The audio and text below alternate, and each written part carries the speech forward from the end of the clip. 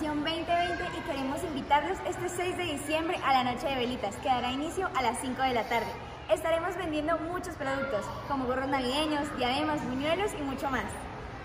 También estaremos vendiendo boletas para una rifa de un volante Bosé, pero todo esto por una buena causa. Le recaudaremos fondos para los niños de la Fundación Amor y Esperanza. Contamos con tu ayuda. ¡Los!